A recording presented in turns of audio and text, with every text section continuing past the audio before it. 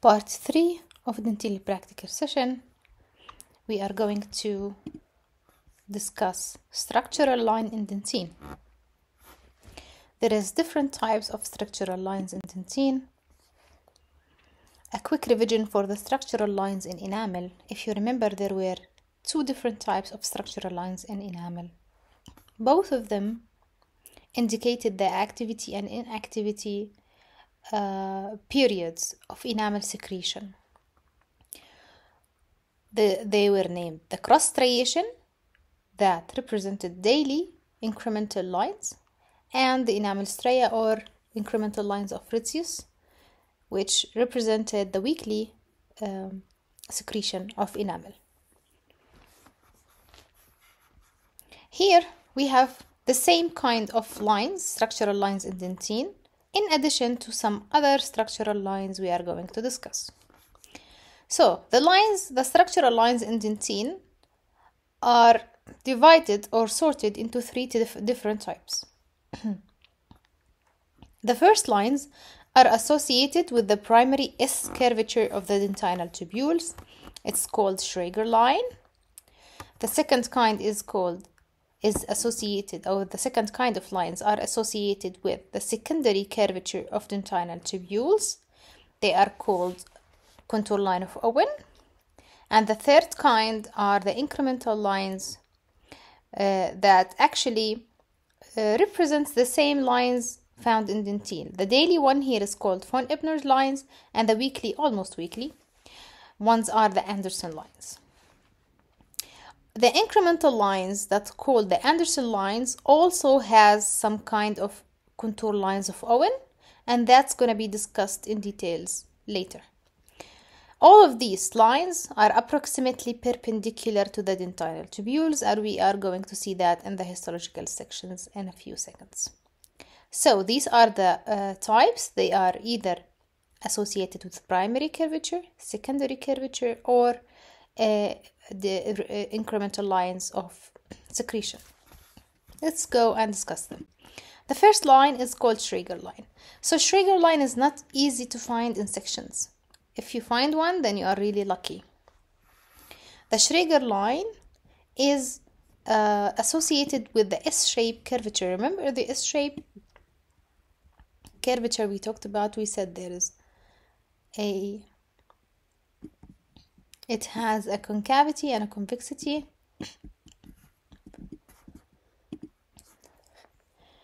The convexity and the concavity of this is shape here and here is demarcated by a line. As you can see here, this is the line that demarcated the S shape beside the root. And if we are lucky, we would see another one demarcating this area if we are lucky, but we can see that here, okay? That's the Schreger line. It is the line that show us the concavity, the maximum concavity and the maximum convexity of the S shape of the primary curvature. And that's it. The other kinds of structural lines are the lines that are associated with the secondary curvatures in the inside the tubules inside the primary curvature. Remember this slide? We discussed it in the uh, part one. We talked about the s shape of the tubules and we said that inside this s shape there is these ups and downs. These ups and downs are seen as you can see here in these white lines called contour line of Owen. Okay? So they represent coincidence of secondary curvatures.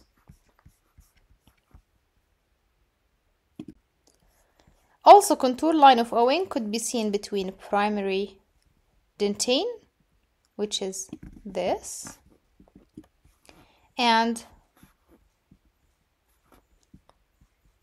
secondary dentine. Not in this uh, slide. I think this slide is not in the right place for it. I will show you another one. I'm not convinced that this is secondary dentine. Anyway, this is the primary curvature.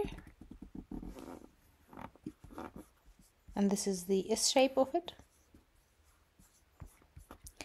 uh, I will show you another slide in a few minutes to show you contour line of Owen. Yes, this is okay. So this is the primary dentine, the secondary dentine, and this is the primary dentine. And as you can see, there is a difference or a, a change in the tubule's direction, creating this line, which is called contour line of Owen. So contour line of Owen is a line caused by change in the curvature of the tubules, whether between the, the primary and the secondary dentine or uh, in the secondary curvatures inside the primary curvature. Okay? If you watch the video, the uh, primer or the starter video at the beginning of the session, you would have an idea what is primary, what is secondary dentine. We are going to discuss them in details in the in part four, but the primary or the starter video uh, goal was to give you an idea about the terms I'm using in the previous parts. So we talked about Schreger line, which is associated with the S primary shape curvature, contour line of Owen, that is associated with secondary curvature or the curvature between primary and secondary dentine. Now we are going to talk about the incremental lines. I think you remembered you saw something similar last session in the enamel uh, histology. The von Ebner lines really looks like the cross striation, as you can see here, and they only could be seen under really high magnification. The dentinal tubules are walking like this, or this is the path of it, and these are the incremental lines of von Ebner's which look actually like the striations of the enamel. They represent daily uh, increments or deposition position of dentine. This is a really low, low magnification and as you can see here, you can see the incremental lines walking on the uh, perpendicularly on the tubules. In this slide, they said here these are incremental lines of von Ebner, but they are not. They are called incremental lines of Anderson, and I'm gonna explain that for you. Be attention, give attention, because this is also a problem in the drawing uh, video that I want you to give attention to.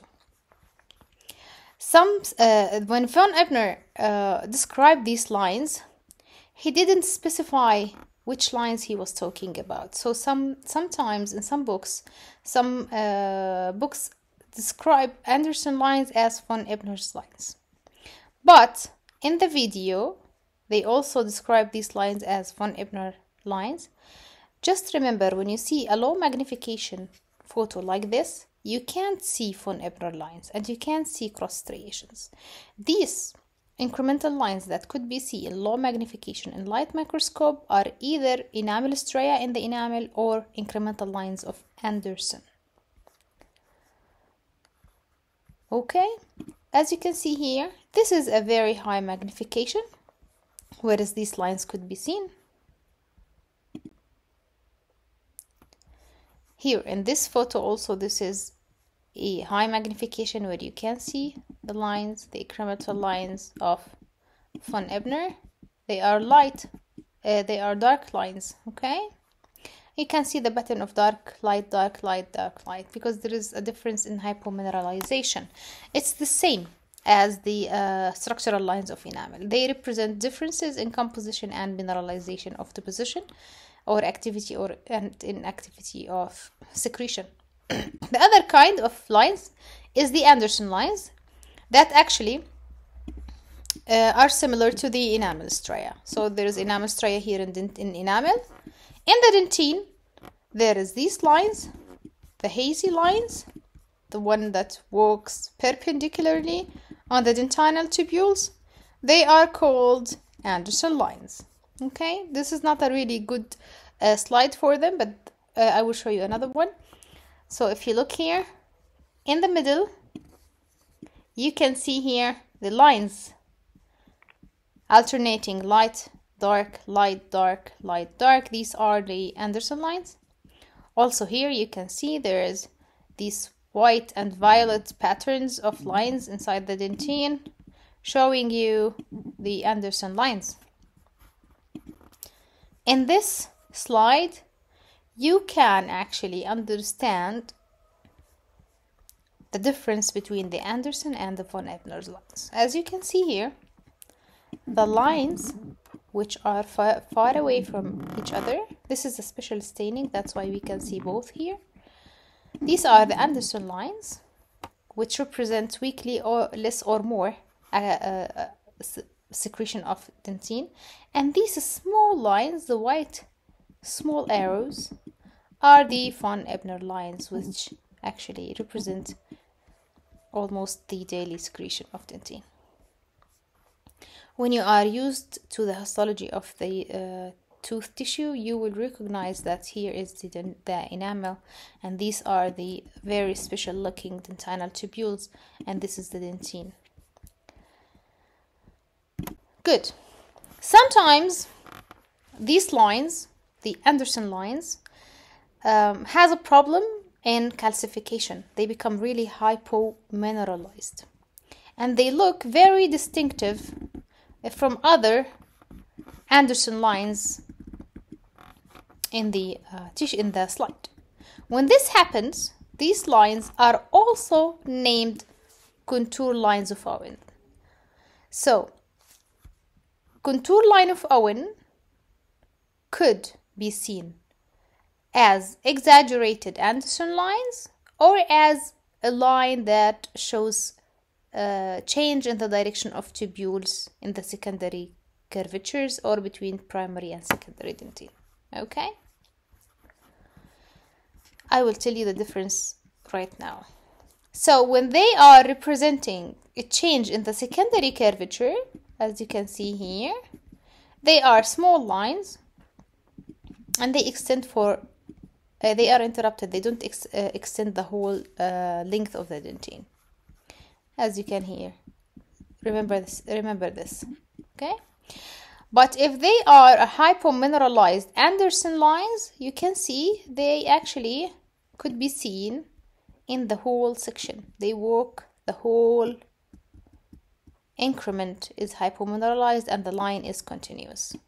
Okay Anyway, at both at both uh, situations, these are contour lines of Owen. As you can see here, so you can see some Anderson lines walking perpendicularly on the uh, dentine, showing the uh, almost weekly intervals of uh, dentine secretion. But this one is really distinctive. This is the contour line of Owen okay. Also you can look here. There is another line. Very distinctive line between the primary enamel which is here and the secondary enamel which is here. So we can see two contour lines of Owen in this slide. One of the Anderson lines is the neonatal line and right now, I think we became experts. We know that a neonatal line is line that's formed in the tissue to show the before and after birth transition in mineralization and composition. So neonatal line is considered a um, an, an Anderson line. Uh, but how do we uh, know that this is a, a neonatal line, for example, not a contour line of Owen or so? Despite that we can actually say it's a contour line of Owen, no problem. But, uh, but I prefer to call it a neonatal line. The neonatal line is found only in primary teeth and in the first permanent molar because these are the teeth that start calcification of dentine in utero. That's the first thing. The second thing is that usually it's really near the dentino-enamel junction and it's not continuous. You mostly it's not continuous to the whole uh, enamel uh, to the whole dentine uh, width. Also most probably you would see another line that looks exactly like it in the enamel. That's how you can definitely say this is a neonatal line in dentine so these were the structural line of dentine. I hope you understand it very well. If you didn't, please just um, listen to the video again and I think he, the, the ideas will be clearer for you. In the next video, we are going to talk about um, the age and post-eruptive changes in dentine. So see you then.